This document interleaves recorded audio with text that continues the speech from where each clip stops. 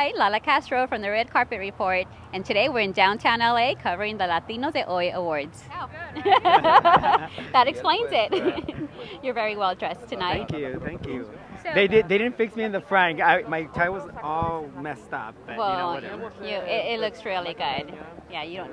Here, let me fix this for you. And then you got some strings coming out. So I know, you know, I just, know. Just I'm a run, mess right just, now. just, Just run to the with it, right? bathroom. Yeah, just go with it. Go to the bathroom. You'll be all good. be. There's, well, Anyway, there it is. hey, I thought designers weren't supposed to tear out strings. Yeah, no. Wow. You know what? You gotta do what you gotta do.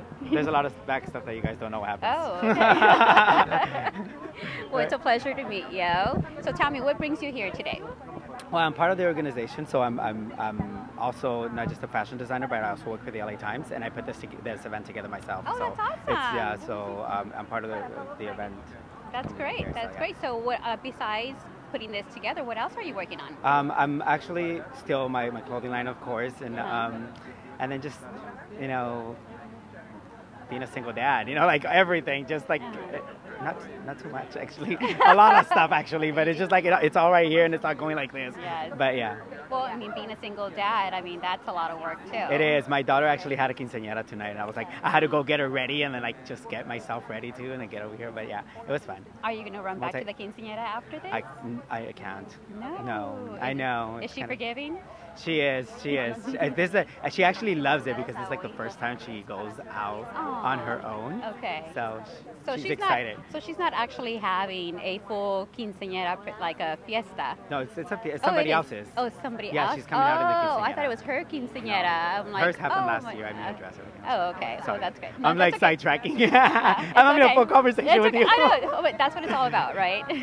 so, um, did it take a lot for you to put this together? I mean, Yes, it was a lot of struggle. Go you know, uh, sometimes when when it's Latino events, sometimes you don't get a lot of support, and that has been a, that was a little bit of a struggle. But I'm glad that you know you guys are out here, that the press is out here, that we have um, you know a super you know nice.